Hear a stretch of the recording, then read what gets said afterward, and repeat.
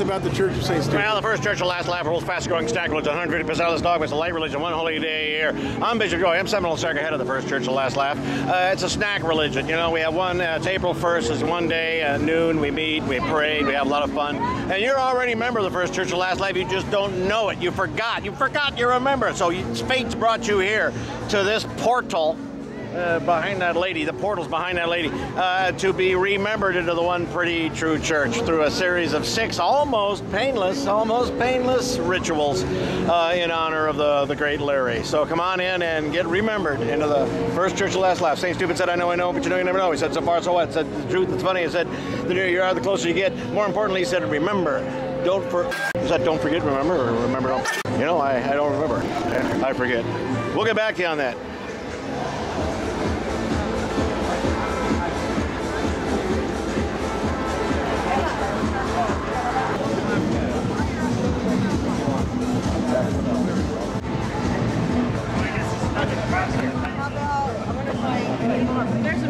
Right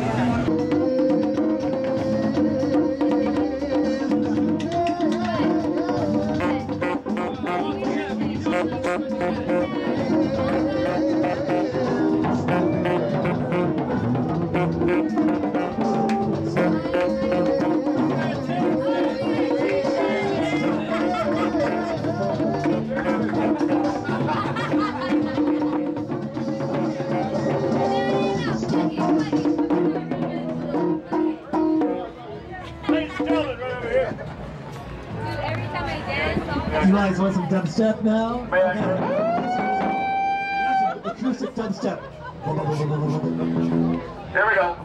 Here's the first ritual. Pay attention, pay attention. There's going to be a quiz at the end. Here it is, the first oath, the oath. Raise your right hand. Cross your fingers. Repeat after me. After me. I pledge allegiance to the illusion To the illusion, and to the pyramid scheme to the pyramid scheme, for which it stands. which it stands. All nations, All nations, one species, in denial, with error and excess by all. Play ball.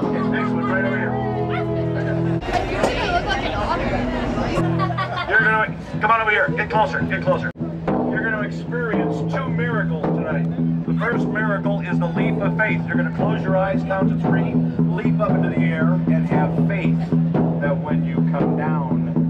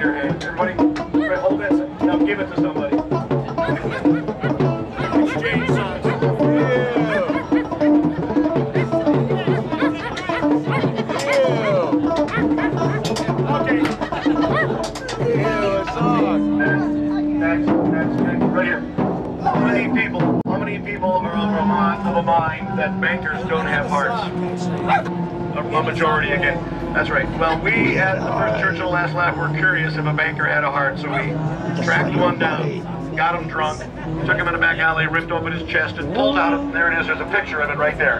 A banker's heart. They actually have hearts.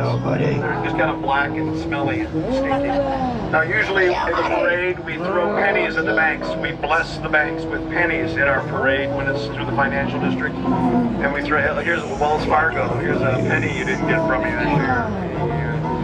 That feels good. And behind our silly little parade, throwing pennies through the financial district is another parade of homeless people. There you go. Uh, so we'll just give a nice finger, a finger and a fuck you to the uh, banker's heart on three. Ready? One, two, three. Fuck.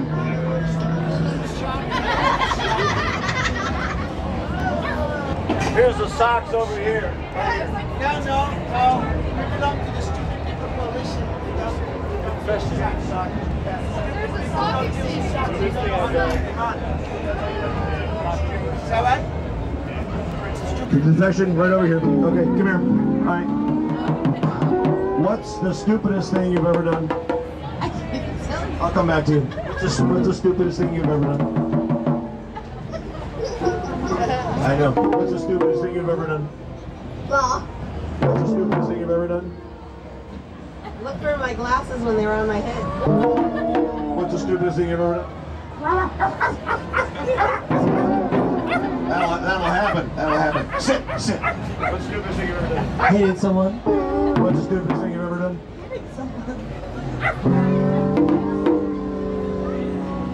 I don't have anything to say. She has no thing. I'll be back to you. Stupidest thing you've ever done. Stupidest thing you've ever done.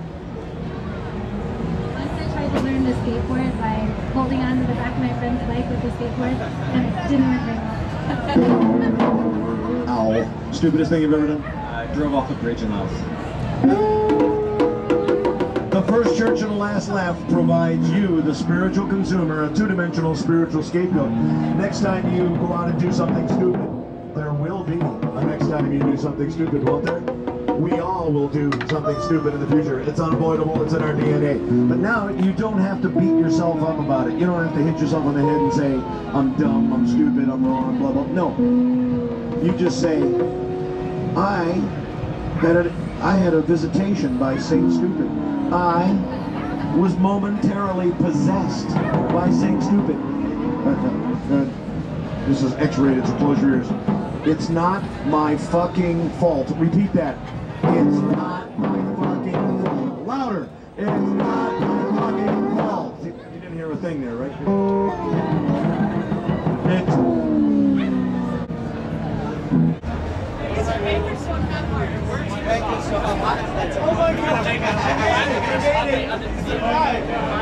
Starts right over here, number one. We're live. We have a secret handshake. We have a secret handshake. It's called the high four.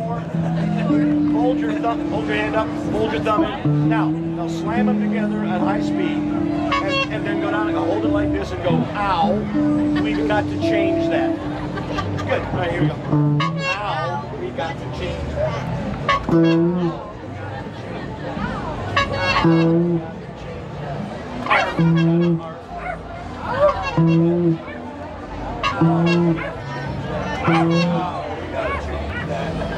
Now then, ladies and gentlemen, the parade, the 34th annual parade will be at the Transamerica Pyramid. North Beach is coming here, so be there at noon. This how do you remember it? April 1st, the pointy, do this, the pointy building. And then turn your hands on the clock at noon.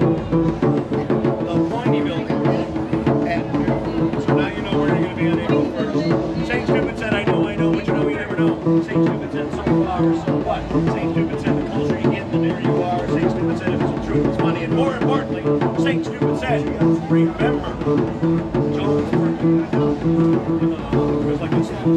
Don't forget. Remember. Remember. Uh, I'll get back to you on that. Go forth, take the fifth, keep two sets of books, exit through the gift shop. I'll give you a sticker on the.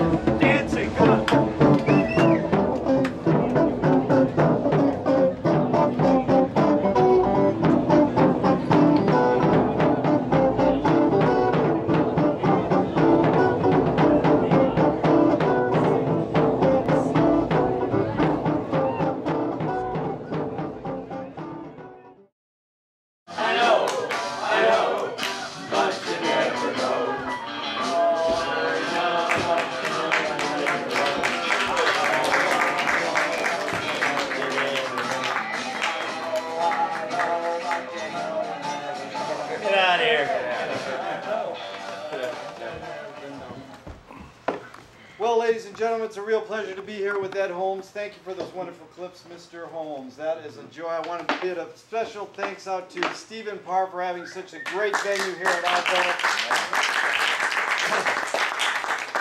And a real special thanks to my friend Eric Dugdale for being the greatest historian on film on, uh, in California and for driving me up here. Boy, thanks, Eric.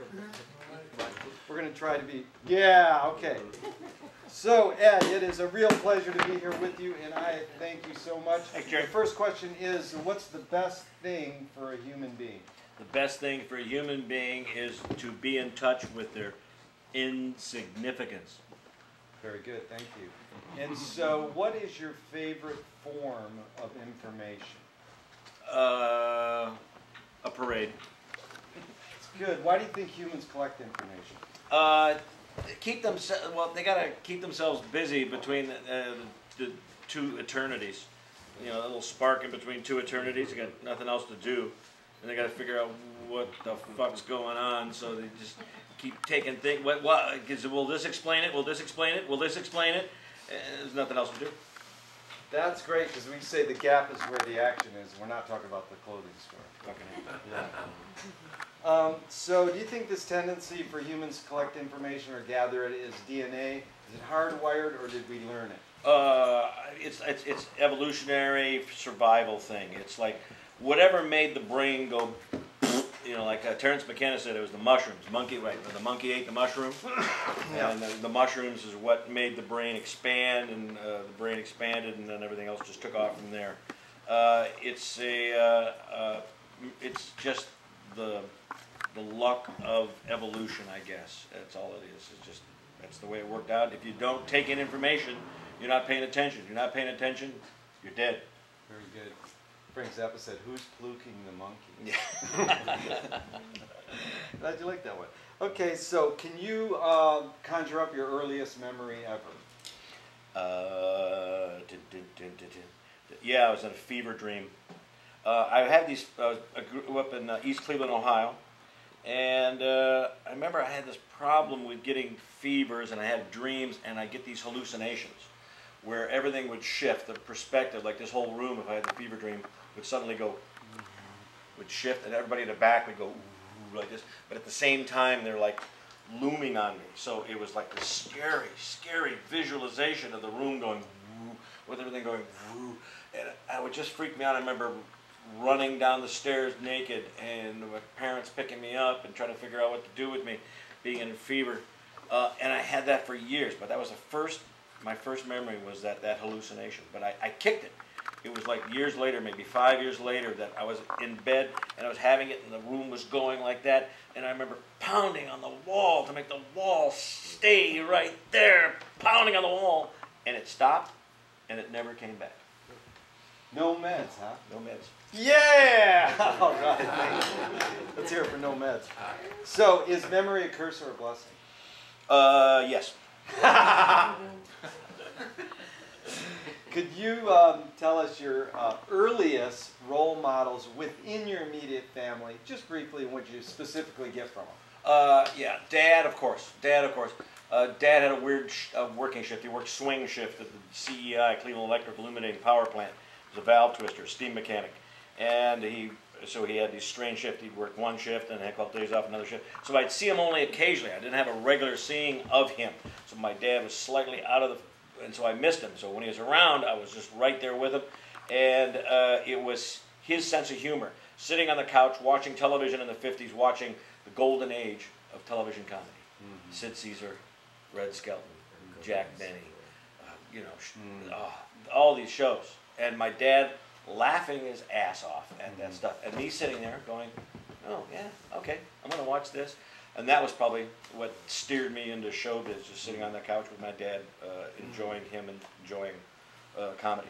Beautiful. And say, outside your immediate family, any early role models? Yeah, uh, most probably movies, you know, uh, adventure movies. You know, John Wayne. You know, I wanted to be a I wanted to be a hard hat diver because uh, John was it John Wayne? No, it was Ricardo Montalban. Or No, uh, God, I remember forgetting his name. uh, sponge divers, hard hat, you know, the hard helmet thing. And I, man, that looks like adventure. I want to be an underwater guy. You know, I want. That's how I want to do. Uh, and then sailors thing, you know, John Wayne being a sailor, John Wayne submarine movies, uh, all those heroic movies of the 50s. Uh, those were all big inspirations. Beautiful. And um, did your parents raise you a particular religion? Uh, luckily, no. Had a big, had like about four or five years of Catholicism. My mother thought she was a Catholic. Luckily, we moved enough so that, that we got away from the Catholic Church, and she said, "Well, I'll send you to this local Protestant church." So I had a little dose of Protestantism. And then in high school, I went, I hung out with kids. I went to the Episcopalian church, so I had a dose of that. And so I had mild forms of uh, a dead man on a stick thing. And uh, Dead man on a stick. I was able to. Is to. that original line? No, no, it's Who, who came up who with came that? up with it? Me. That is a good Doug line. Wellman, right there. Dead man on a stick. Uh, so I had uh, so, but so I had a lot of holes in my religious upbringing. Yeah. And uh, I filled them in with uh, reading a lot, and uh, the reading expands, you know, past those boundaries. And then I, you know, bumped into. I remember when I was in the Navy, I was reading H.G. Wells' History of the World, and the, uh, uh, his chapter on Buddhism still is the most amazing description of what Buddhism is. Actually, is is H.G. Wells. History of the World, Volume One and Two. But check it out. And I remember going that like twisted my mind. Went, wow, that's very interesting. A way of looking at life, you know, and, Yeah.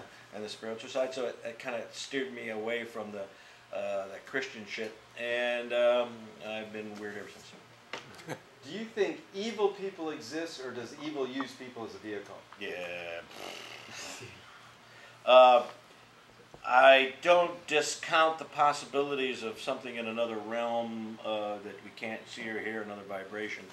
Uh, I don't discount that possibility, but I just think it's uh, just people, brains are, you know, their chemistry. I think it's just brain chemistry. Some, Yeah. Everybody's get a di- different mix. Everybody gets a different deck, uh, a hand dealt from the deck in their chemistry, and some people got a little bit of this and too much of that, and that's where evil comes from. Yeah. I probably it's a mechanical thing, I think, Yeah. more than anything else. Now, this question is how do you advise people to deal with their enemies and uh, or deal with enemies? And I'm going to just set it up with a few modern thinkers' thoughts. Alan Watts says, if you acknowledge your enemy, you empower them. Coppola stole from the mob and the samurais. Keep your friends close, but your enemies closer. It's morphed into the word frenemies. Um, JFK says, forgive your enemy, but don't forget their name. Uh, J, uh, let's see, Fellini says, I need an enemy. And lastly, Chinese proverb goes, uh, he who cannot agree with his enemy is controlled by them. Now, just basically you got the question how you advise one to deal with enemies, but just to start, how would you respond to the first one, Alan Watts? If you acknowledge your enemy, you empower them. Yeah, sounds good. Yeah. Uh, I've listened to a lot of Alan. Uh, he's very influential also in my uh, spiritual expansion. Uh, but uh, yeah, but I think it's every enemy is different. And that yeah, for some enemies that's the Alan Watts thing. For some enemies it's uh, you know it's others. Uh, there's the other approaches. Uh, some of them you aikido, and uh, some of them you, you, punch in the nose. That's good. In uh, American Indians say your enemy's your best teacher. Yeah, you'll learn. A, lot- yeah, mhm. Yeah. You'll learn how to punch somebody in the nose. Yeah.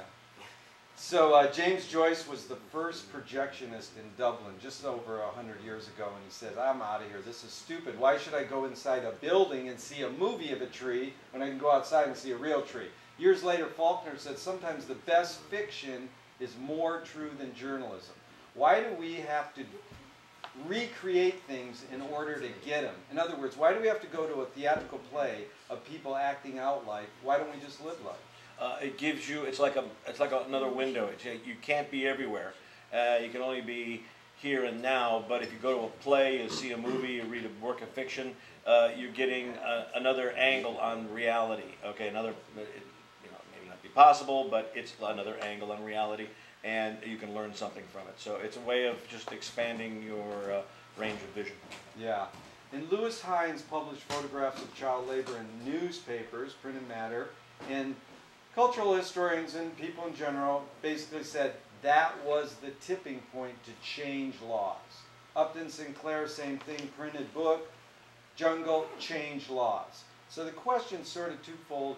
Basically, has any film, music, art, or theater actually been the tipping point to change laws? I'm all for we shall overcome. It really helped the civil rights movement. But generally, the people don't say that was the tipping point to change laws. And the, the basic question is, is it still possible to have this same kind of impact where people go, that's the tipping point with these other mediums? Uh, I say historically, what's that Sinclair Lewis about the meat yards? Uh, uh, the jungle. The jungle. Yeah. Supposedly, that was a big. That was a big. Right, but that's printed matter. So we know that printed matter has done that, maybe Yeah. because it's the old, one of the oldest mediums. But I'm asking after these other mediums, uh, have there been tipping points and can they actually have that same kind of impact? Don't, yeah, uh, tipping points. I don't know. I don't know. I can't point to a tipping point. Yeah. Yeah. You, I've listened. You know, listened to the folk music in the '60s, and you know, rock and roll was supposed to be. You know, it's a protest form. Uh, and have any of those really been a tipping point? I think. I don't know. Yeah. Uh, Matt, anybody think it, any tipping points in Yeah. music? I think it's just keeping an ember alive. Yeah. I think Yeah. it's just blowing on the, the ember of uh, you know, revolution and uh, another possibility, Yeah. and that hopefully that goes off and lands somewhere fertile, and that sets something on fire and burns down Bank of America. Oh, did I say that? that was good. Yeah, and I'm all for it. I'm not trying to discount this all. And one friend said uh, maybe uh, Ralph Nader's press conferences as performance art Uh-huh. changed Uh, the law for seatbelts. Yeah. Yeah. mhm. So, um, a screenwriting teacher once told me that a great film, great piece of art, is when you can clearly see the intention of the maker. And asking filmmakers about this and people like yourself, one said, well, Kubrick says the opposite. A great film is when you can, a great piece of art is when you can clearly not see the intention of the maker. What role does intention play in your creative process? Absolutely not at all. Uh, I have no intention whatsoever. I'm just, uh, I, well, no, I have full, I'm full of intentions. Uh, too much education gave me this thread of the Feast of Fools. Yeah. This and and what the fool means in society. So I definitely intended to update that old Feast of Fool European tradition. Yeah. I mean, everybody's got one. Uh, you're late. I got to start all over again. I, I, I'm Ed Holmes, and I. I'm sorry. Uh, so uh, yeah, my intention was, I mean, I believed in what the Feast of Fools said. It said, you know, things get turned upside down. You got to have that uh, spontaneity. You got to get out from underneath the heel, you know, of the, the crown or the cross, which was the European thing, which Feast of Fools was, uh, getting out under the heel, and then just expressing this joy of life. So uh, that's how the parade came about. Was just connecting with that. The intention was uh, go express joy of life amidst the great canyons of uh, the real temples of Yeah. our society. That, that was great. And um, Maria Cal says, in order to be a performer, which I asked you if you're at a cocktail party and somebody says, what do you do? You say, I'm a performer. In order to be a performer, you have to have half your brain in complete control and the other half out of control. And uh, one of my favorite lines ever is, I'm trying to get more control over my spontaneity. yeah. so can you talk about that? Uh, yeah, it's like I, I grew up and it was all yeah control, trying to find a way to focus your mind, uh, learn a thing, learn a trade. I get in the Navy. I wind up in nuclear power field. Uh, I go to school for two years in nuclear. I was going to be Homer Simpson. I was headed for Homer Simpsonhood in the '60s. Uh, yeah, thank you. Uh, and that was such control. I mean, I kicked my. I mean, I wasn't a great student in high school, but here I am doing this nuclear engineering study for a, a year before I go go on a, on a boat, and it was really trying to wrangle my brain. I was, and, I, I had trouble, but I did it. But I had trouble, and I said maybe I'm not cut out for this. This engineering thing is really, you know. It's precision, and I, and so I did it, but I wasn't that good, and I wasn't that happy, and I finally got a drug saved my life. Uh, marijuana. I got busted for smoking marijuana. Got kicked out of the nuclear power field, and uh, sent on a different road. And that getting out from underneath that responsibility, because that was the the deepest, the heaviest responsibility in my life, was being in the nuclear. You had Admiral Rickover. Admiral Rickover was riding shotgun on this whole program, and I, got to give props to the Navy. They've had pretty good record with this horrible, dangerous fucking thing, Fukushima fucking thing. Uh, but the Navy has done pretty good, so so, but no big catastrophes. Uh, and it was due to this control. Yeah. Oh, oh, control. Oh, the control. Oh, you you move forward. Why are you moving forward? Where are you going? What's that for? What's that going to do to that? What you know? Every move you made was you looked back, forward, sideways in three dimensions, four dimensions, five dimensions. Well, when I got out from under that, something happened, and my my the uncontrolled part of the brain came to the fore. And when I stepped on a stage, but you know, took a you know a, a course in, in theater uh, at Laney Junior College on the GI Bill, the whole thing went opened up, and for me it was that was you know uh, freedom. Yeah.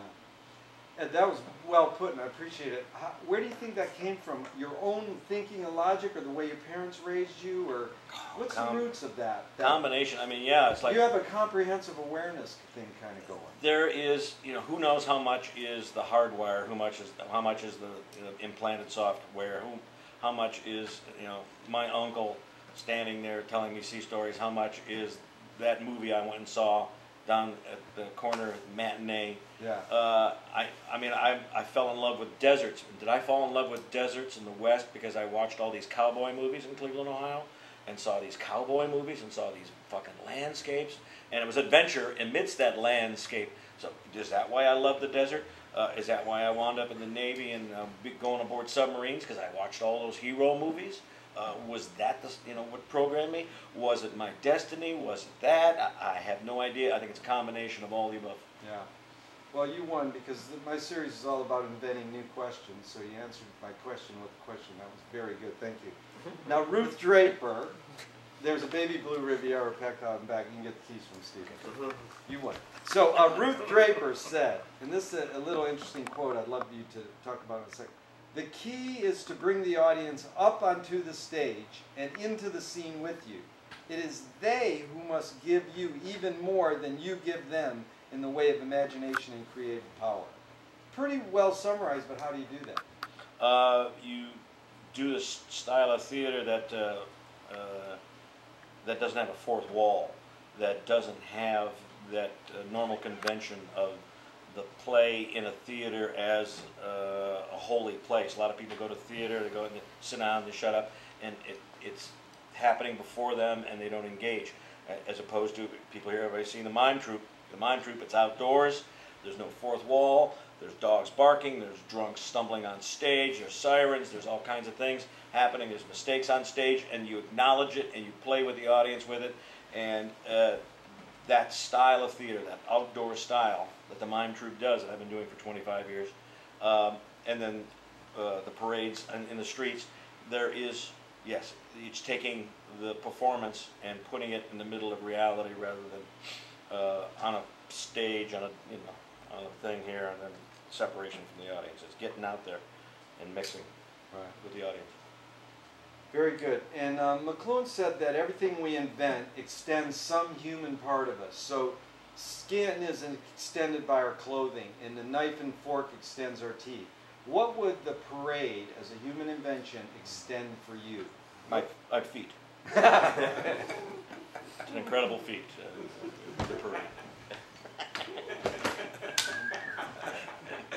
And uh, as a, a student of theater and a practicer of theater, and you actually teach theater, don't you? Yeah, I teach Okay. uh, yeah, physical theater. Uh, what would you say physical theater extends? Uh, your uh, uh, your core, the inner core of your body, uh, and uh, its attendant limbs. Everything. It's like right here. The spine extends the spine. Spine's got all the uh, the wiring in there. Okay, it's connected to everything. Okay, so it's extending the spine through all the wiring, through all the appendages, and uh, it extends those in the world. Well, you get McLuhan. That was good. You ever read it? Oh, yeah. Yeah. Mhm.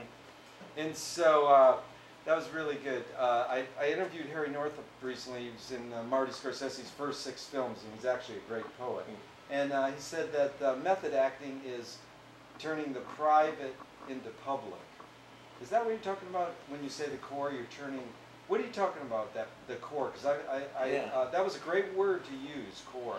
I would say uh, not being a method actor myself, uh, knowing about it but not having done it, uh, not being even drawn to that style of acting, uh, to me it would it, it, it, it's not about my experience bringing my emotions and experience to the part. It's just it's bringing what's happening, not my experience, but what I am now, what I'm feeling right now, what the what's called for on the stage right now or in the street, what's called for with this audience, you know, it it varies. So uh, for me, yeah, uh, it's a core thing, but it's not that core of uh, a method actor who Yeah. is going back into his history and recalling and bringing that forward and then projecting it. I'm skipping that part. I'm just yeah, right there. Right. So be here now? Yeah, or get there later. Um, it's been said that film as an art form has been swindled by capitalism. When I first heard that, I thought everything's been swindled by capitalism. And uh, cohort, I'm doing a show at uh, Craig Baldwin's place tomorrow night. Hope you all come.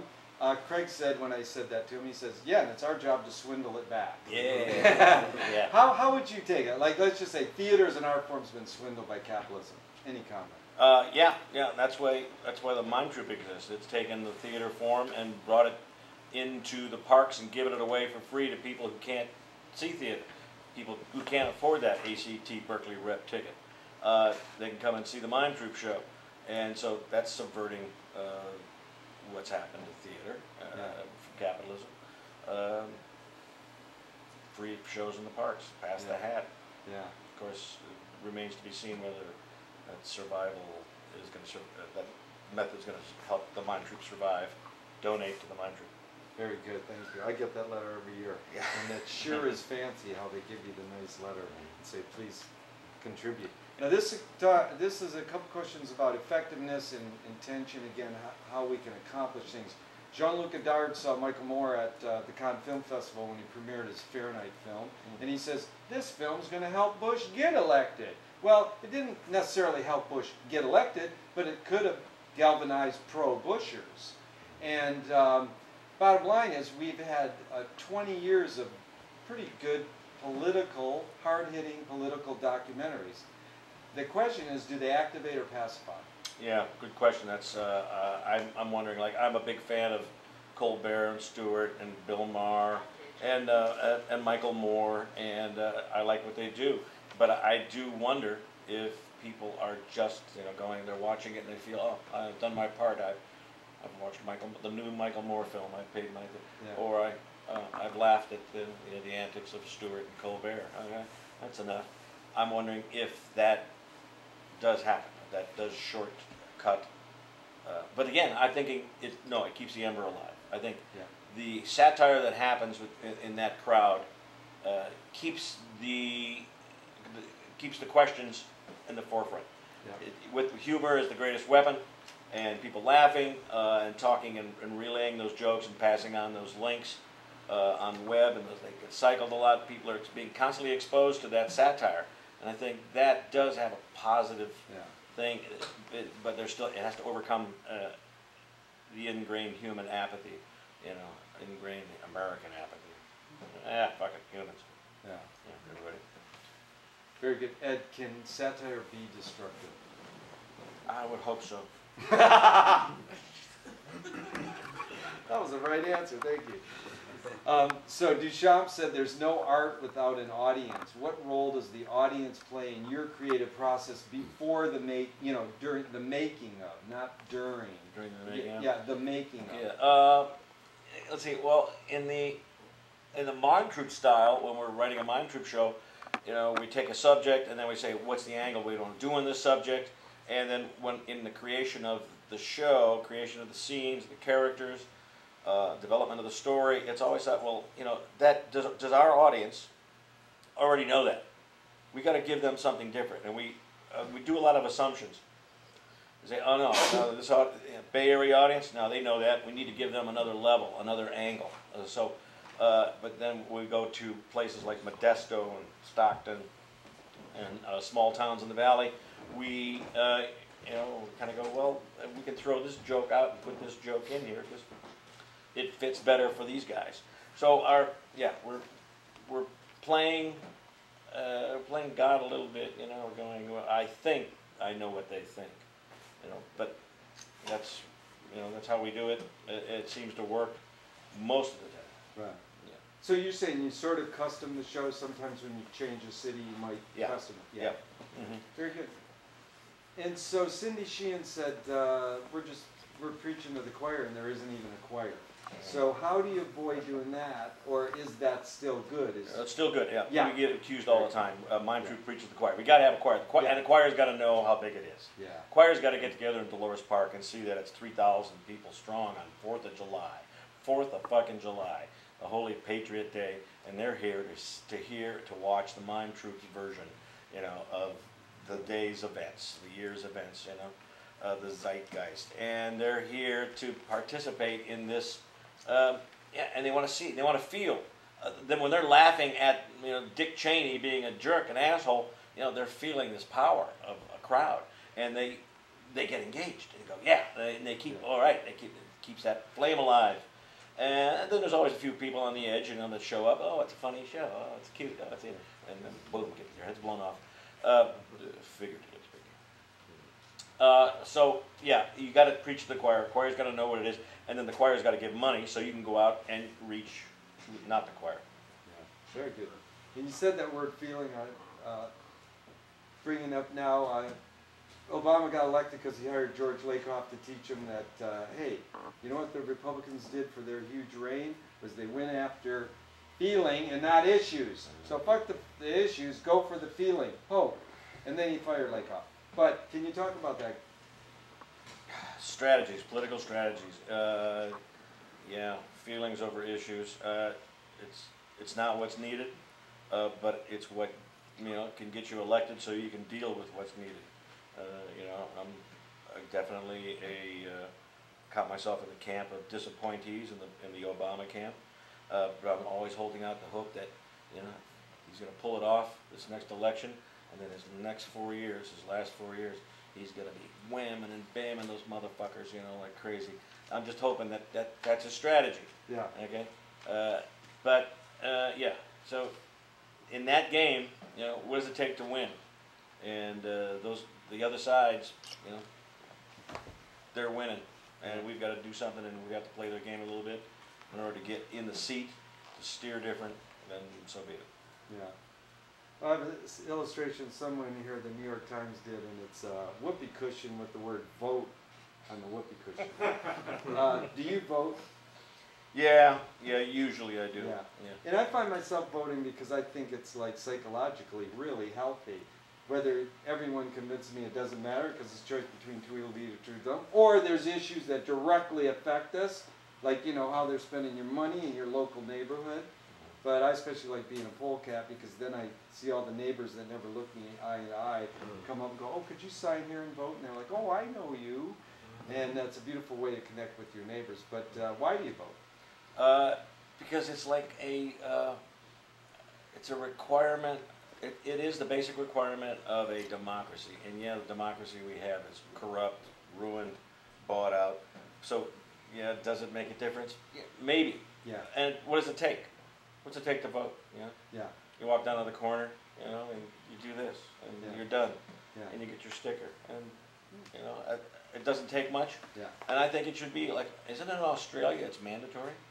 Is Australia you have to vote? And Argentina. Yeah. And where? And Argentina. And Argentina. Eight countries. Uh, Probably uh, Albania.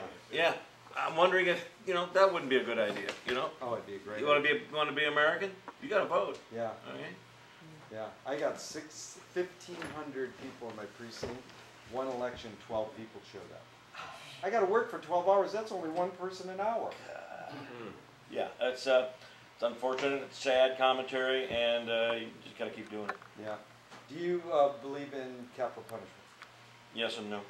Do you wanna expand on that? Uh, there's, there's some people, there's some criminals that, um, you know, like that, there's some criminals that man, shouldn't live. I think, I think, yeah, life's precious, some of you take somebody's life, uh, maybe you should lose yours, you know, un- depending on the circumstances. Yeah. Like that guy in Connecticut, it was the hot one, you know, the home invasion in Connecticut.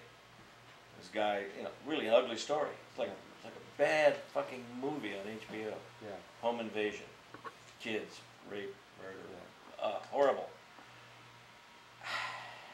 Let that guy live, you know.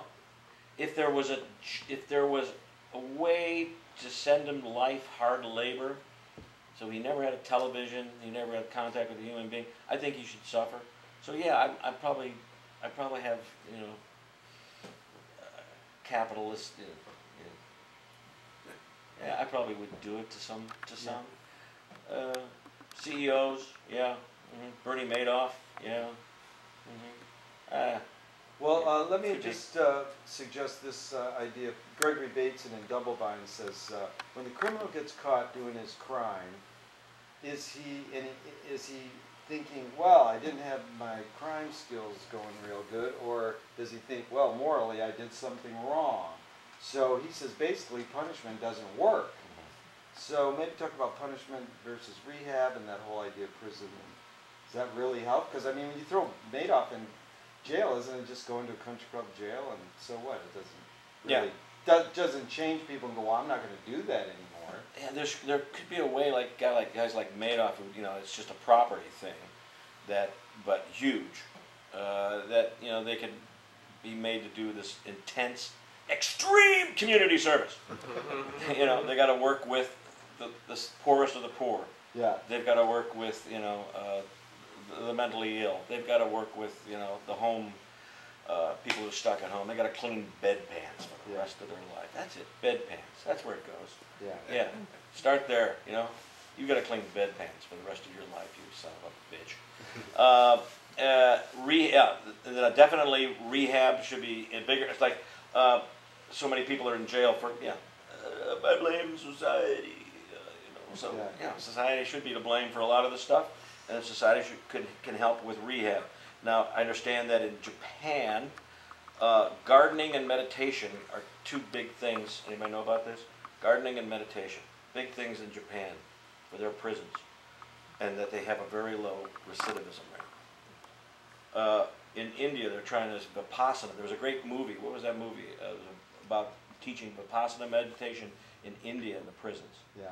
and taking these taking these hardcore criminals and just taking their head and go and just adjusting it and amazing miracles. So there are ways of that rehabilitation that the United States has, hasn't even gotten around to yet. You know, it's just punishment and uh, you lose your magazine privileges or some shit like that. Yeah. Uh, so they got to be a little bit more creative, a little bit more, uh, uh, you know, with Yeah. the rehab in this country.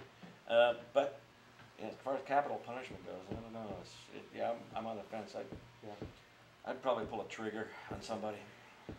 Uh, if you were ruler of the world, what would you do on your first day? Hmm. God, rule the world. Uh, uh, yeah. Uh, uh, first day. First day. Uh, take a day off. What was the motive of the cave artists? Oh, uh, the the creative itch, uh, seeing reality, being in wonder of this reality. This antelope. Holy shit! Look at that antelope. Holy shit! Look at that antelope. Go look at look at that movement. Wow! And it stayed with him. You know. Wow! That animal moved like that. Wow! And then he's got a stick with some carbon on it. You know, the fire. And the urge, just this creative urge to reproduce the wonder of reality.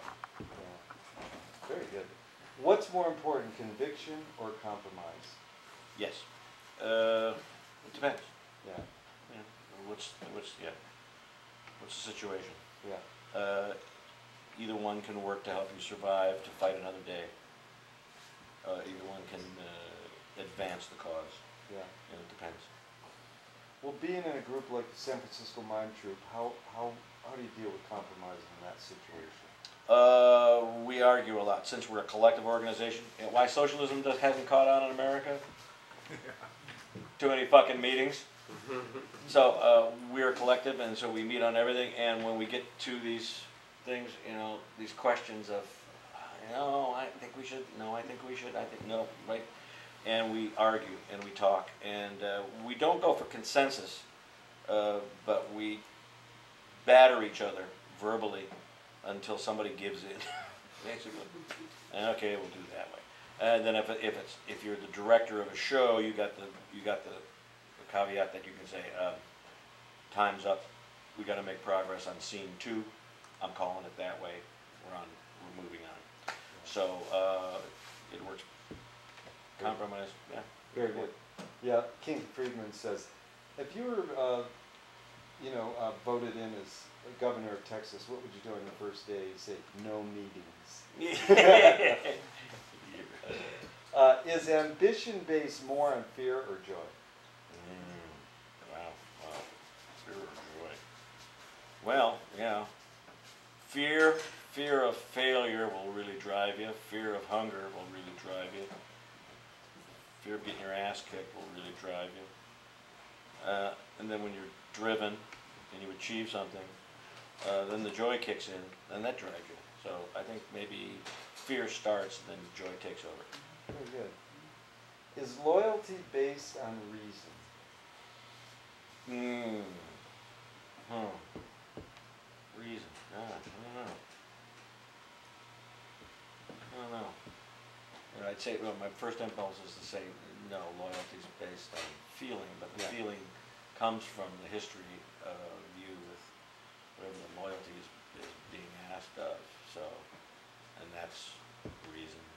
So, But they say blood is thicker than uh, mud? No.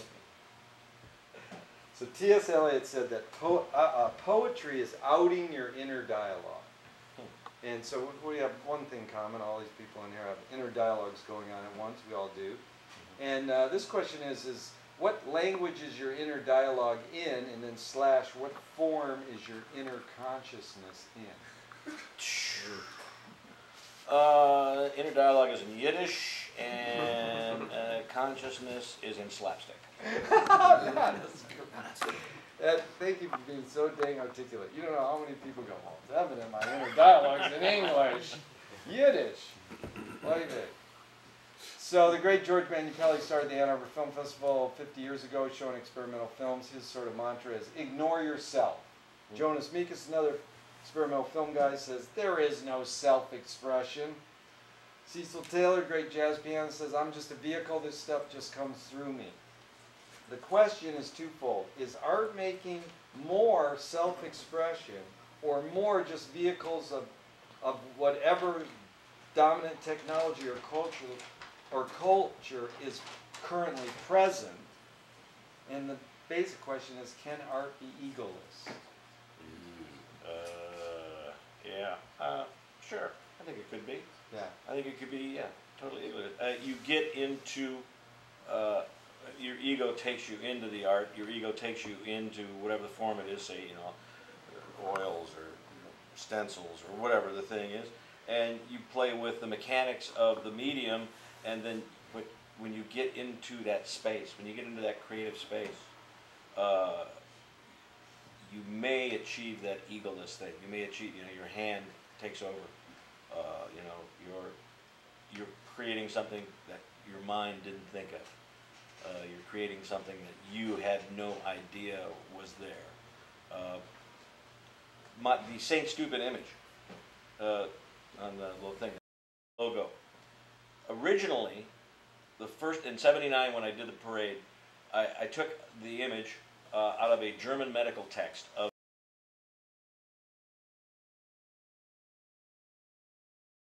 a uh, about this big, an engraving, turn of the century German medical text, uh, and it had all these engravings of um, uh, medical abnormalities, you know, hunchbacks and the elephant man, you know, very de- depicted, you know, very clearly. And one of them was this hydrocephalic child, uh, just a bust, conical head. Hydrocephalum is uh, water on the skull, misshapes the skull. And it was this perfectly, a perfect cone, like this, and a beatific smile. And I went, that's it. That's the image for Saint Stupid, because Saint Stupid was related to Feast of Fools. The fool, a lot of the uh, the fools, a lot of times were the, the hunchbacks, Hunchback was good to touch the hunchback for good luck. It was good to feed the hunchback, keep him nice, keep you know, do, do good things for the, the clubfoots, the misshapen. Uh, that's a kind of a karma thing that the, the, the crown, the, uh, the princes, they did. And they would they'd be jugglers, they'd be entertainers and stuff. So you'd have these malformed around, you know, for entertainment purposes. Uh, so, uh, and at the same time, I'm reading Jane Roberts, Seth Speaks, and she's talking, you know, about another alternative realities. You know, the guy speaks through her Seth, you know, and he's talking about, you know, uh, sure, why not? Burning bush, why not this? Uh, and then in one of the books, I was reading it at that exact same time, she had this character from several dimensions out speak through her. And when she did that, she talked in a mo- her husband was writing all this down. She would talk in a monotone and a cone of light would form above her head. At the same time on television, the Coneheads were on Saturday Night Live. Three things happened. I went, this ain't stupid. This, this Conehead guy. The next year, I put, I put the, the flyer together, mailed it to a bunch of people. In '79, we had a couple of dozen people show up at the Bank of America, and we had our first parade. Okay, so that was the image. That, and it's an engraving, black and white engraving, but it's like a photograph, like reality. So it's got that deformity, and you know, deformity is, you know, kind of testy on, uh, you know, for normal people, you know, sometimes. Next year I went looking for it, I couldn't find it, and I had to send this thing out. So I sat down with a Pentel brush pen, and I went, he looked like this. And he looked like this. He looked like this, and I made about six or seven drawings, pen drawings, real fast on a, on a piece of cardboard. And I went, that's not him, and I threw them away, and I tore my studio apart at five in the morning, and I'm calling people up, did you have last year's post? Nobody's got it. And I went to the garbage, and I pulled one out, and I went, this will have to do. And I ripped off the one, up, and I put it, I put that on the flyer, and I sent that out. And it changed the tone, because it's, it's this, it's a cartoon. It's cute, it's charming, okay? And it wasn't this slightly dark image of a really deformed child, you know? So, and that came out of where? You know, it came out of uh, deadline. I had to have something, and I did something real fast, and I wasn't thinking. But all this stuff fed into it. All this historical shit fed into it. All these visual things fed into it. You know, and out came that, and uh, it changed the tone. Uh, a lot of people just responded to it, uh, and I uh, eventually I found the old one again. Uh, it's up on the website somewhere, and uh, but But you can't stay with the new one? uh, but I stayed with them. Yeah. Yeah. In fact, everyone can pick up a sticker. They're right over stickers there. right Free over- stickers. free right stickers. there. Yay. So that was beautiful because it reminded me also. So would you say like the mime troupe is just a mirror because you're responding to the current events to write the current play? Yeah. Yeah. That's why we have a horrible, terrible, miserable motherfucking writing process.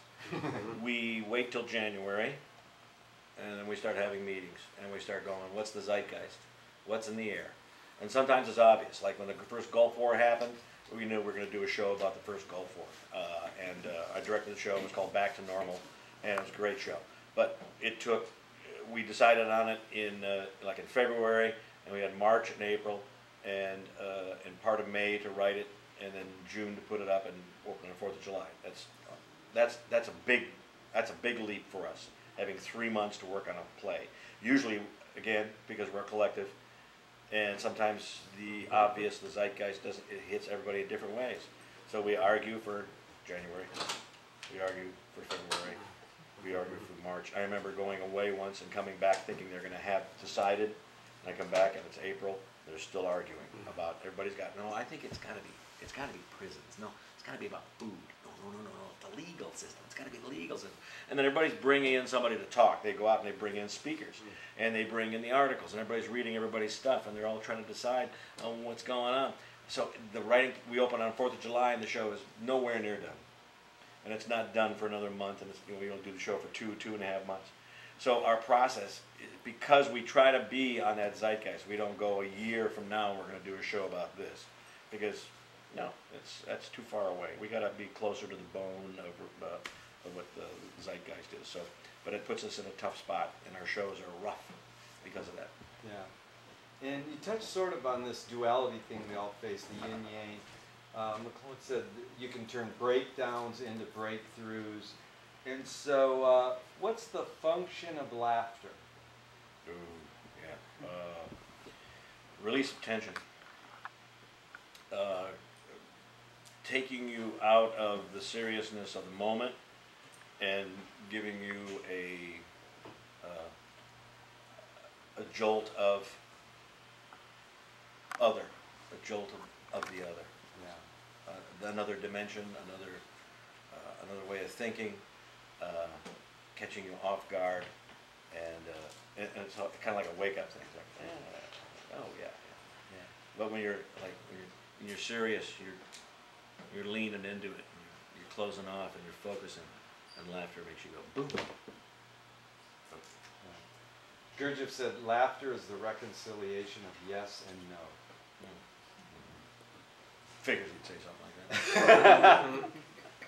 Steve Allen said, behind every joke, there's a grievance. Uh, yeah. comment? Oh yeah. Oh hell yeah. Yeah. Definitely. Yeah. There's, oh, there's another guy, a, a big influence, Steve Allen. Yeah. Steve Allen. Growing up watching Steve Allen, uh, I think probably I would count him, and maybe Sid Caesar.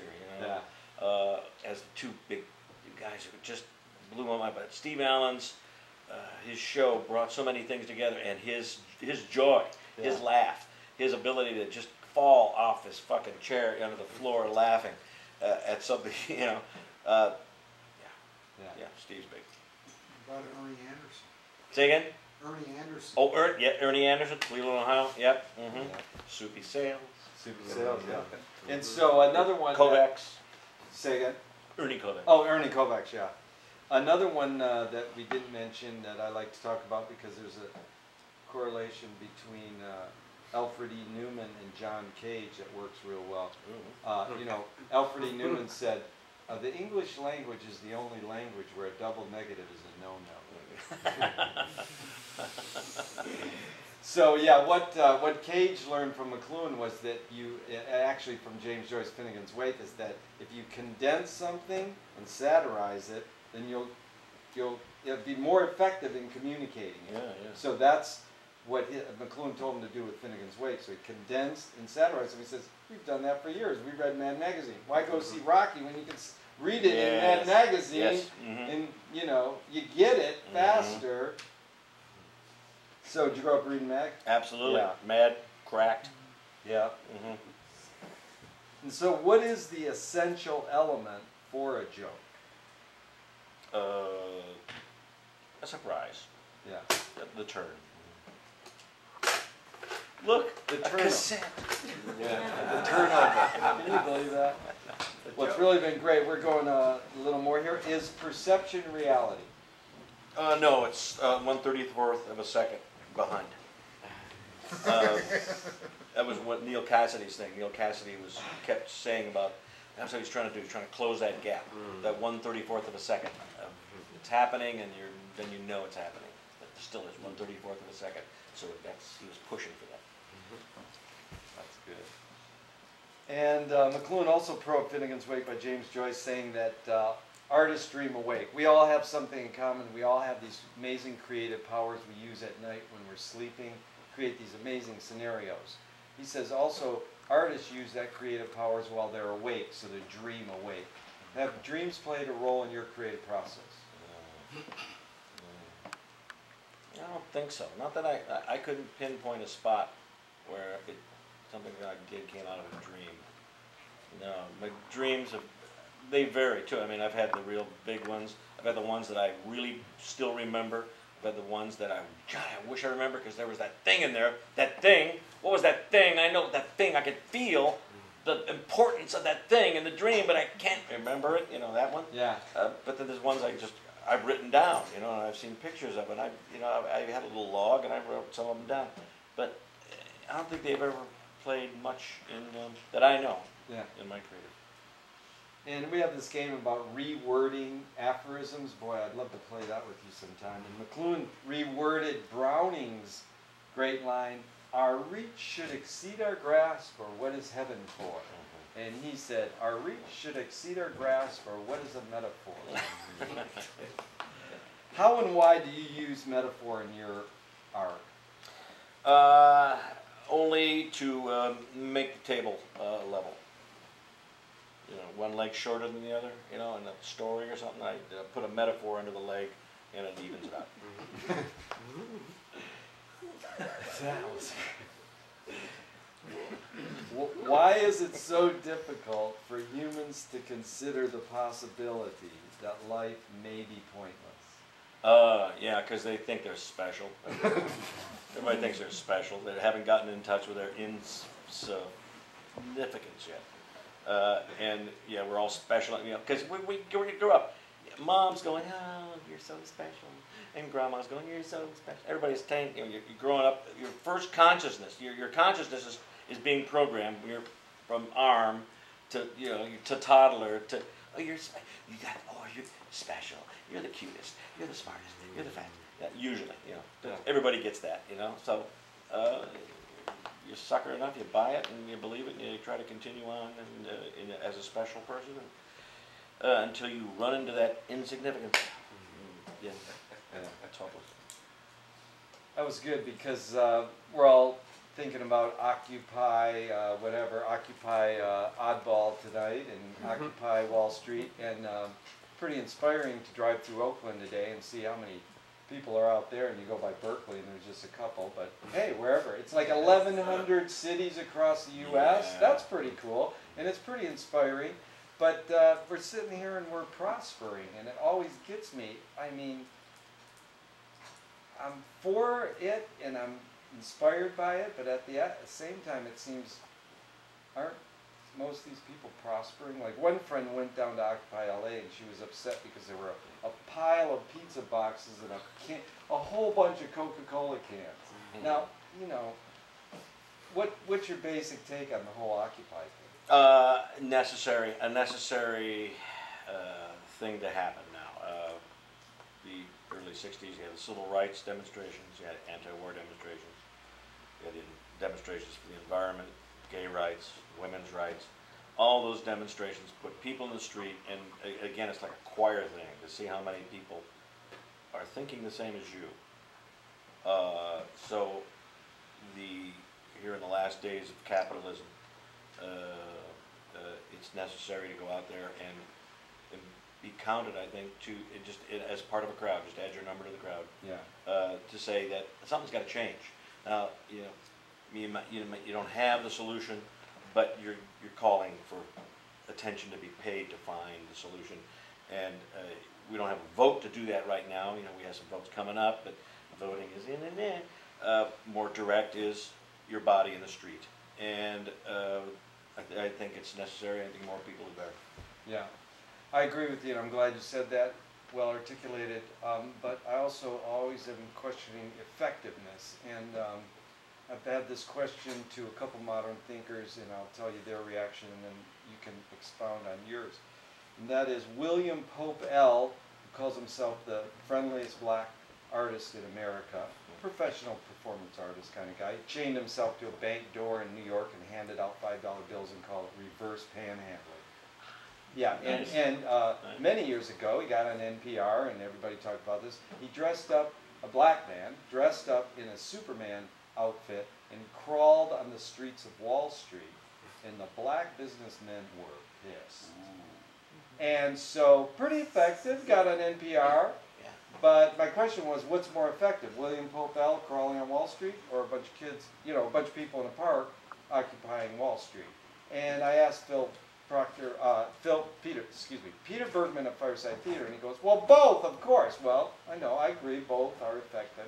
I asked DJ Spooky, and he goes, "Well, William Pope L. is more effective." So it's not that it's a race. Of course, we know it's both, but how do we do it and know there's some effect? Do we just do it, or do we can we gauge how can we be most effective? Does that matter? Uh, I think it only matters that you have a feeling that you need to do something, and you take what it is that you do.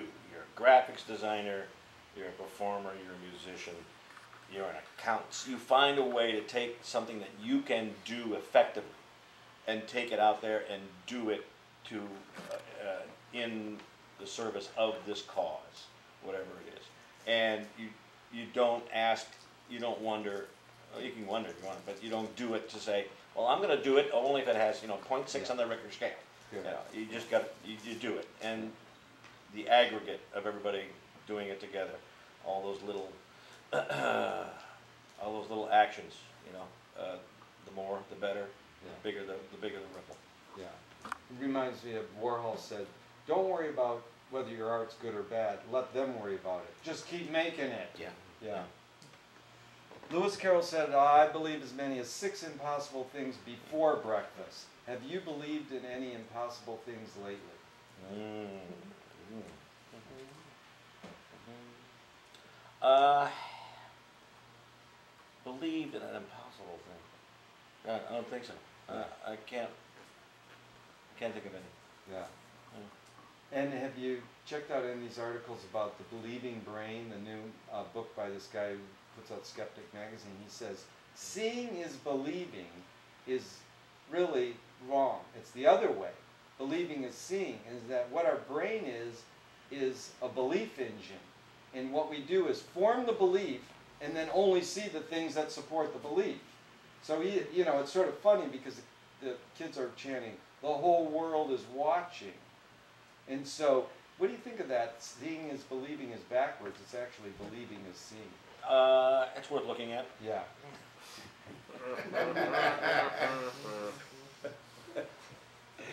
uh, uh, the Bish, um, what elements of your performing have remained the same, and what elements have changed over the how many how many years you've been performing? Uh, almost forty. Pretty good. Four decades. Could we applaud this man for four decades? Thank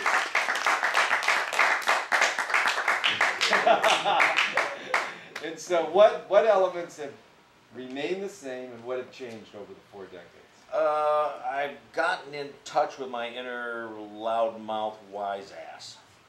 Uh, blossoming, that started to blossom. Uh, when I started performing, I started performing as a mime. A mime. I'll repeat that again. I'm here. I'm confessing. Uh, hi, my name's Ed Holmes, and I was a mime. I mean, white face, white tights. Really? Yes. I, I, is it- when I went to school on a GI Bill, Laney was my first place, and I took everything for two years. And then on a, on a whim, I took this mime and movement class because only it, it fit in a schedule, and I was just needed to fit something in a schedule. And I and so I, I'll take that. And I, I met this guy who's ten years my senior, who was the mentor you're supposed to see once in a while on the road. And he took my head and he went, and he said, he says, you're a performer. And he says, you've done this before? I says, no. And he says, well, I've been a clown, you know, I've been a wise ass. And he says, you're a performer. I got a troupe. Berkeley Mime Troupe was a spin-off of his Laney class. Ten people, white face, white tights, doing not politics, but art and comedy. And I joined that and I started performing and, you know, I was doing it physically. And then I got into this Commedia troupe, Fratelli Bologna, uh, through the, you know, through the Ren Fair circuit, and we developed this Commedia dell'arte thing, and then the verbal developed. And I got in touch with this Commedia dell'arte tradition, this Renaissance Italian wise asses. And that's where the, the satire, that's where the playing with the audience, that's where, uh, you know, attacking the institutions uh, with comedy, that's where that developed. Uh, so uh, that, uh, that's what, what was the question? um, what elements of your performing have remained the same, and what elements have changed over the four decades? And I just refined my wise ass. Yeah. That's probably what I did. I mean, Yeah.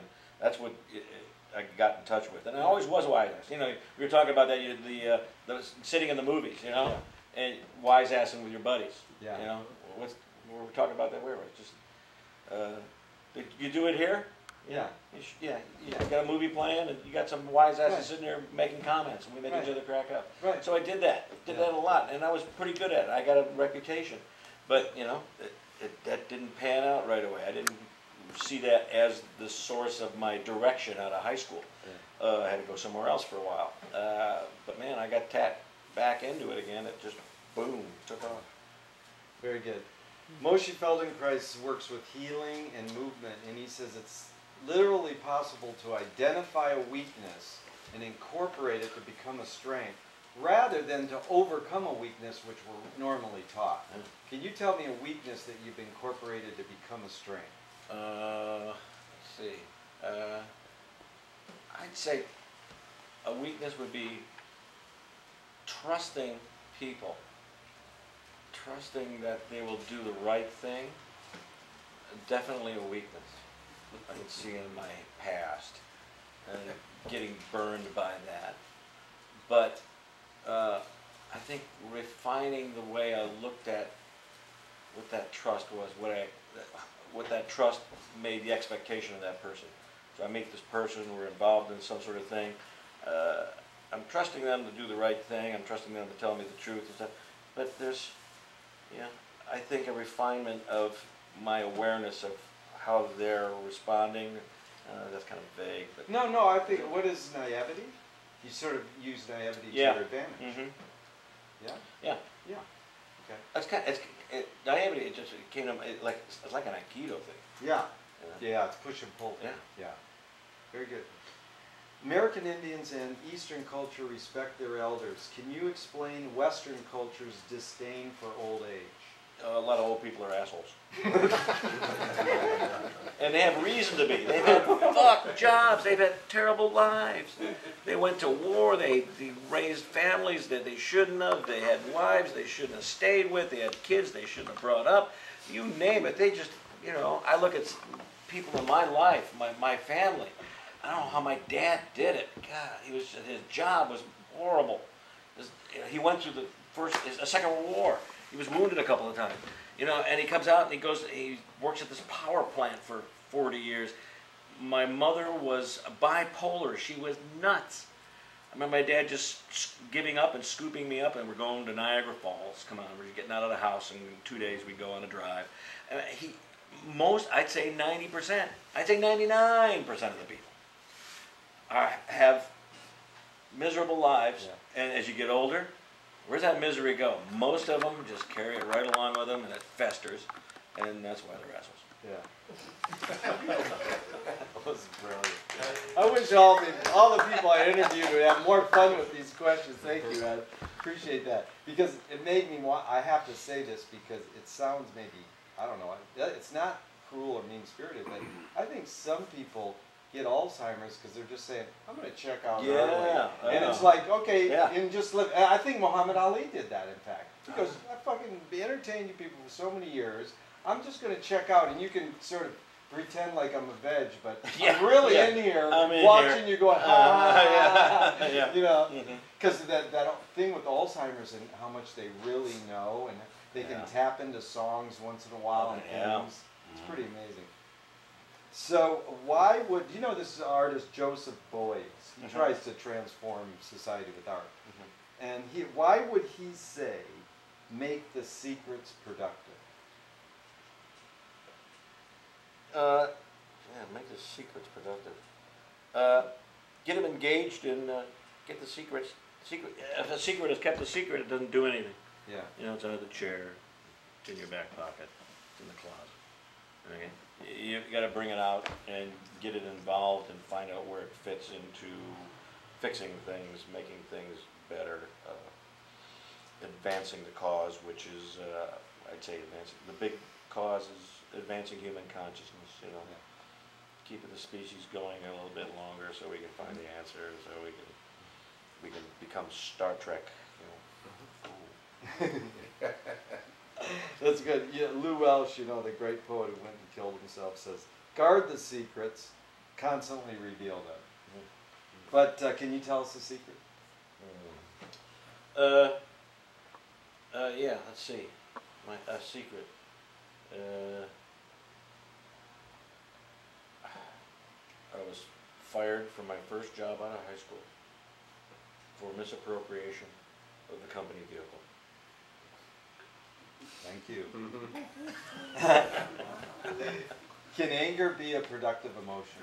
Yes, uh, I think anger should be a tool in everybody's box. Yeah. Uh, and you got to keep it uh, oiled and ready. You got to know how to use it. Uh, I've, uh, and I give you an example here. I give you an example. Uh, Mime Troupe is going through a problem with uh, its board. Originally, okay, so the Mime Troupe was created by R.G. Davis in the 60s, 59. So he was the dictator between 59 and, and through the 60s. He turns on his bunch of hippies in the 60s to socialism.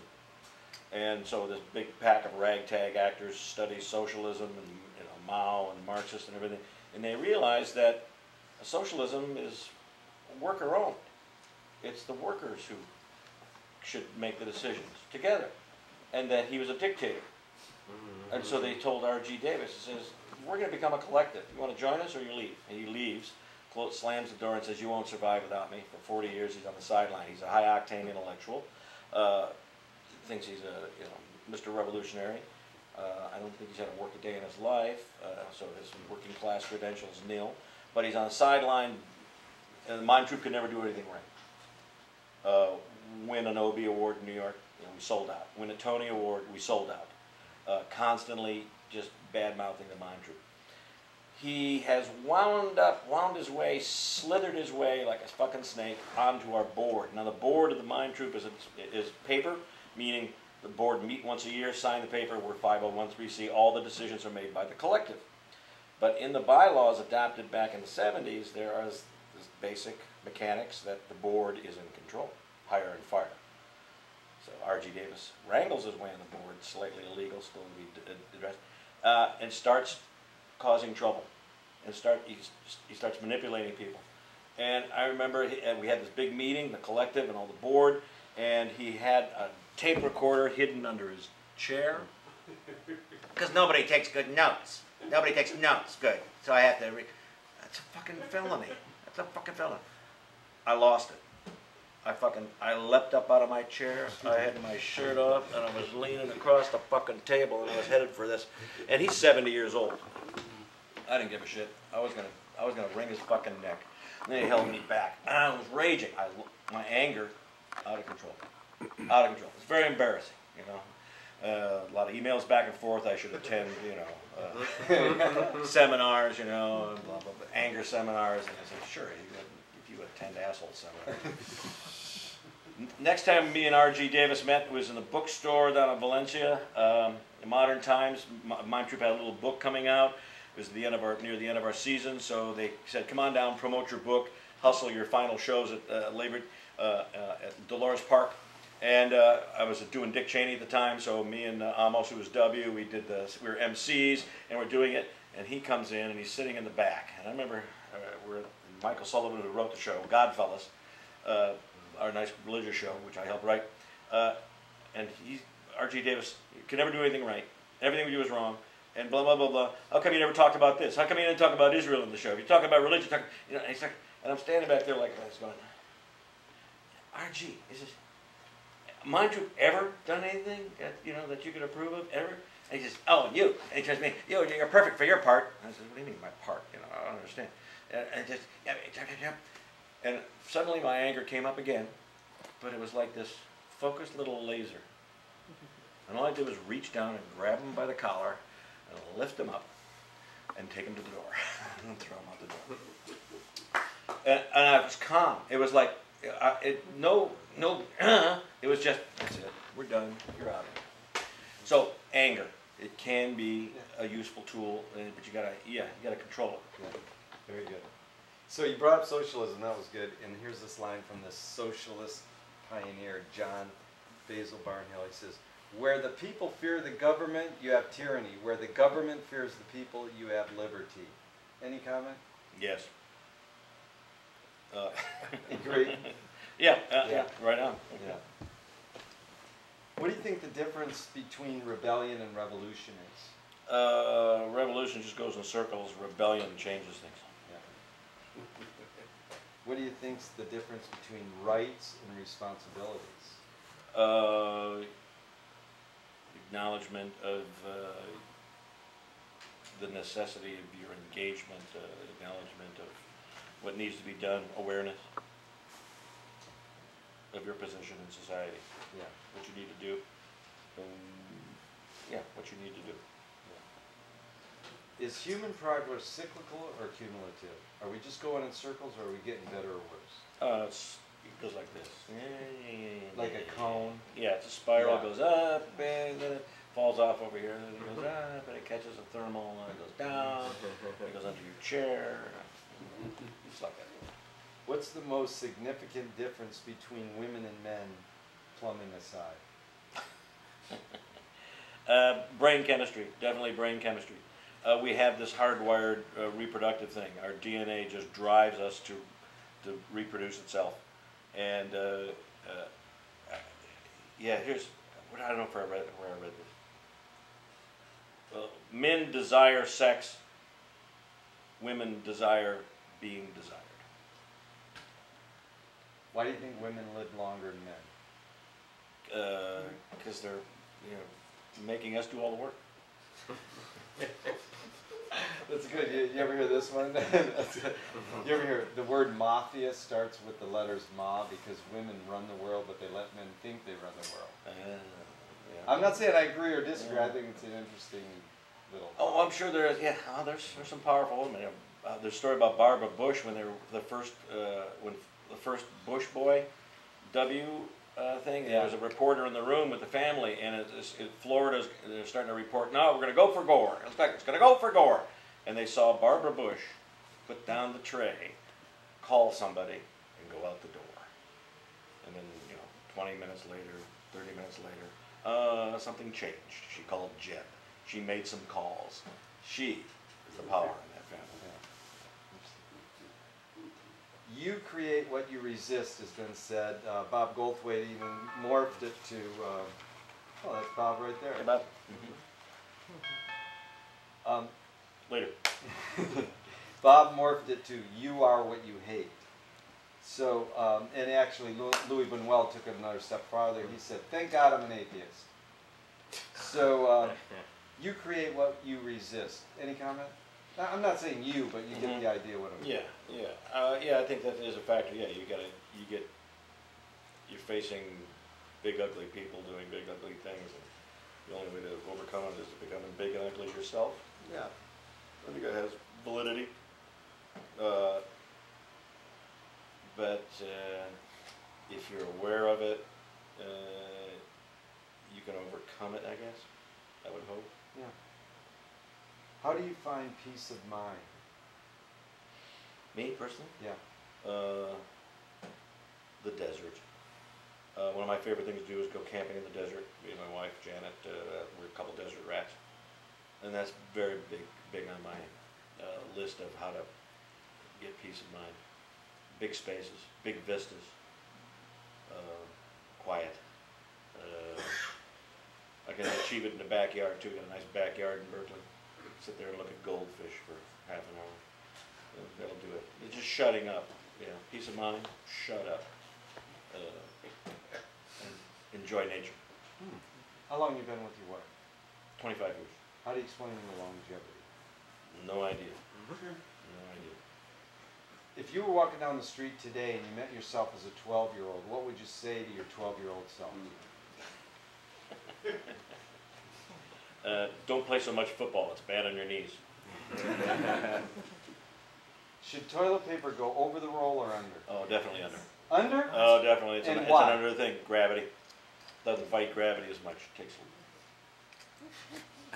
If a, if a publisher was to release your autobiography, off the top of your head, what would the title be? Bozo Deluxe. And uh, Ed, they said we'd like to scent the glue in the binding. What smell would it be? Uh, not patchouli. That's pretty amazing because I got that question because Madonna released a book and it smelled like patchouli. And I go, hmm, I, Oh. could, I could develop that. I could develop that into a question. if a statue was built in your honor, where would you want it displayed and what would it be made of? Ooh, uh, uh, it would be uh, uh, dis- displayed in Wall Street made of pigeon shit. Please tell us. Please tell me something good you never had and you never want. Something good. I never had, never want. Um, tits.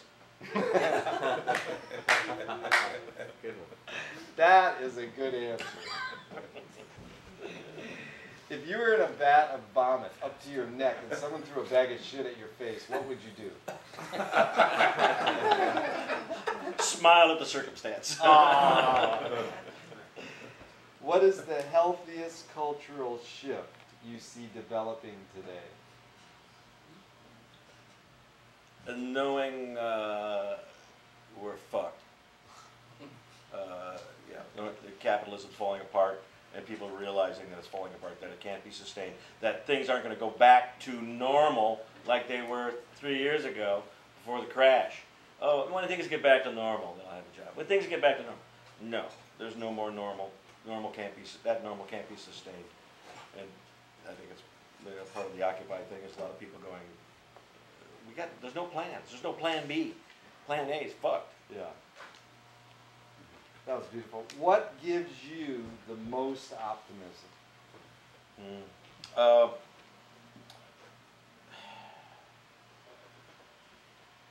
the luck in my life. Are we watching it happen or are we making it happen? Oh, the part that you're watching is made, and if it's not made by you, it's made by somebody else. So yes. That is a good one. I'm going to ask Ed a few more questions, and I hope you guys will uh, join in, and uh, we'll carry this on a little longer. Ed, uh, this is Mencken uh, many years ago saying the primary function of democracy was to create heroes and villains. So it's just sort of to set up this idea, why do we have to have competition? In a lot of ways, you know, we both grew up in Midwest, sports, drive, competition. Manny Farber said a good, great film critic and abstract expressionist says, you know, why is criticism so wrapped up in measuring? So I mean, we're, it's great to play football or have, play sports, why do we have to have a winner and loser? And so just to, you know, it's sort of like I'm still struggling how to word this question, but you'll get an idea maybe what you want to talk about here. It's um, this is one more line about sort of is competition hardwired? Why do we have to have it? And this line goes: Games were created to give non-heroes the illusion of winning. In real life, you don't know who really won or lost, but you can tell who a hero is and who is not. So is it all about hero making, or why do we have to have competition? Uh, it makes it gives the play more weight. It gives the play, you know, something uh, beyond itself. The the play itself is it should be enough, but I think if you just played without any competition, it, it would be it would start to get well stale, maybe get boring, and that competition makes it push itself uh, in uh, different directions and uh, makes demands on, on the play that expose new and wonderful things. Yeah. As also and also horrible things. Yeah. And Ed, in closing, uh, John Steinbeck wrote a book, Grapes of Wrath, and uh, the movie version, you see the guy standing there with the gun on his land, and one of his associates, town crony, comes through in the car, and he knows him. He's just the messenger, and he says, "Dude, you got to get out of here because they're building a road. Get off your land. They're going to plow it through." And the guy standing there with the gun says, "Hey, my grandfather farmed this land. My father farmed this land. I farm this land. We own this land. Then who do I shoot?" So, what is the function of blame? I mean, why do we have to blame? Uh, to uh, get what you want.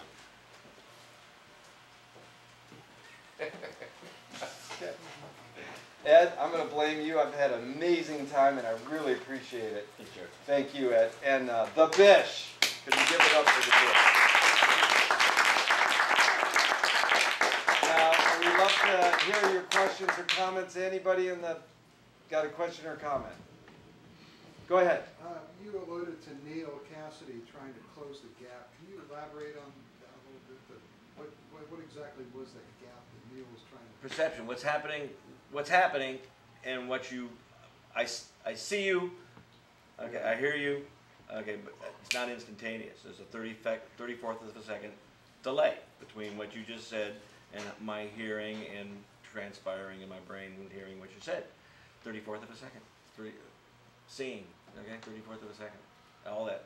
So, yeah, he uh, talked fast, lived fast, uh, took a lot of drugs, to try to close that gap. You just wanted to exp- he wanted to experience raw reality rather than delayed. It was the real thing. Yeah. Mm-hmm. One more real. I think there's one also great word McLuhan uses, it's called rear view mirrorism. And we go forward looking in a rear view mirror. And he's sort of saying, be here now, present. In fact, Wyndham Lewis says, great artists live in the present and write a detailed history of the future.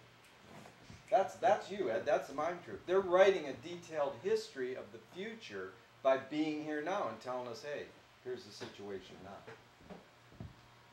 Go ahead. I've been seeing the mime troupe shows since the late '80s, and I love all of them. And um, I I love your work. I love watching you perform, and uh, Michael Sullivan and all the involved. But I always feel like um, we're just standing around patting each other on the back. What kind of an experience have you had showing mime troupe shows to quote unquote conservative audiences? And have you found that that's broken down any barriers? Uh, yeah, a lot of times uh, our shows, yeah, we sometimes our shows have a real thing at the end where you go, "This is what you got to do." Other times it's just kind of like, "Okay, what are we going to do?" It's sometimes it's just the question, you know, leaving it to the audience. Uh, some, there was a show we did in '89 called Seeing Double, our uh, Palestinian-Israeli show. I like to call it our kite and camel jockey show. and in that show, we talked about the Palestinian thing, and it was a great show. Uh, and at the end of each show, there were uh, Arabs and there were Jews at the front of the stage talking to each other. And they were talking to each other. And they were talking to us. And they were telling, you know, oh, you didn't bring up this, you didn't bring up that. But we'd all look at each other and go, they're talking. And we took that to Jerusalem. We did it. We performed at the Jerusalem Festival in '89, and we got censored by the Israelis.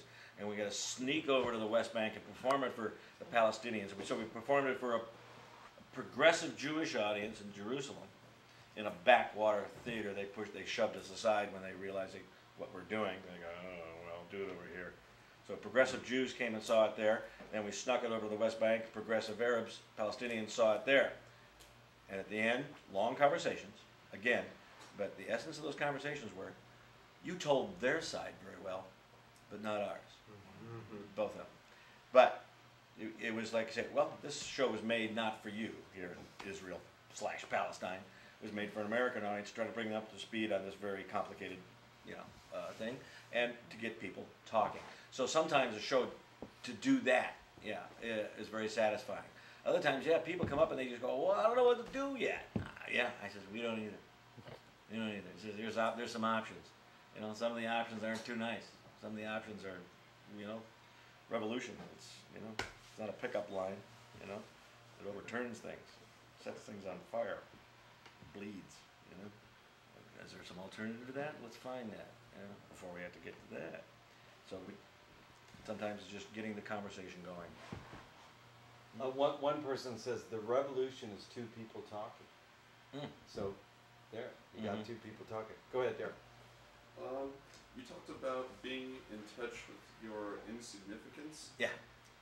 How do you um, reconcile that with uh, being your creative, your activism, your Yeah. creative process? Uh, knowing that, uh,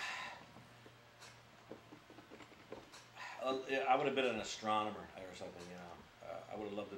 Uh, astronomy stuns me. The, that's to me the Hubble is the pinnacle of human endeavor.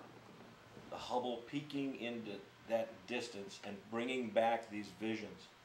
Just you know, one fucking amazing wonder after another, and the astrophysicist going, we don't fucking know what's going on.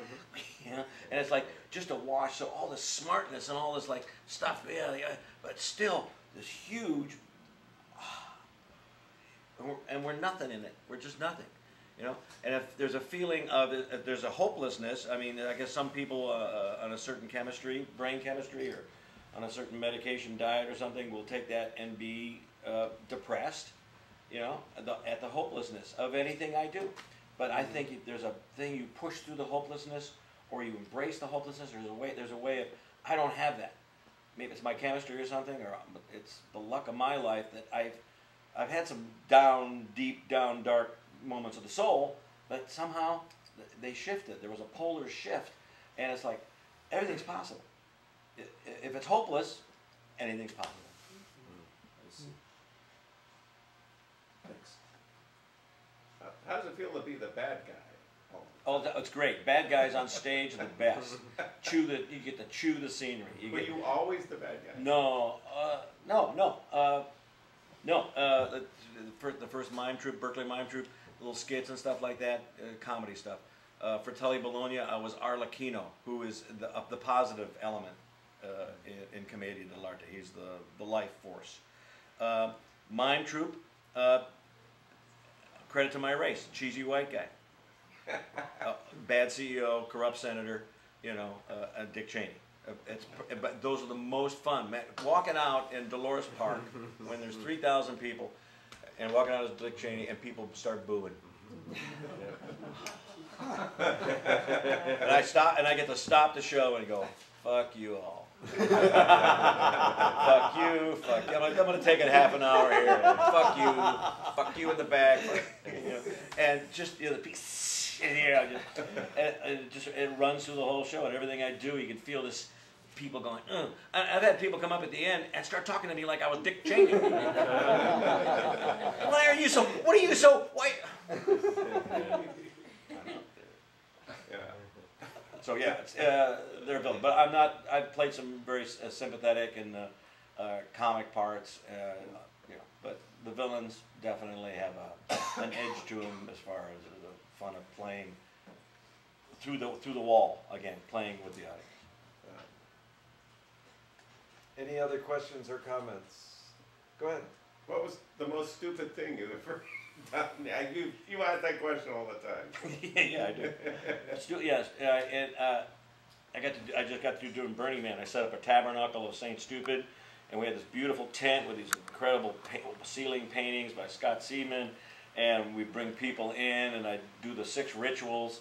You know, and one of the rituals is confession, and I hold the microphone up. I said, "It's the stupidest thing you've ever done," mm-hmm. and people would blurt out something, you know, some usual things, DUIs, you know, or blah blah blah. But man, occasionally people would say something, and you could see it ring inside of them. You could see them quiver. There's one woman when she said something, she said something as innocuous as "I didn't call him back," hmm. and she turned around and she started crying. And then at the end of the thing, when I took everybody outside and was thanking them, giving them buttons and stickers, she comes up and gives me a big hug. She had a little, you know, a release, a thing, you know. Uh, for me, oh God, stupid. Not, I don't think I've, I, I haven't, I haven't done it yet. I haven't done it yet. I've done some, but they haven't been the stupidest. I think the stupidest is yet to be done.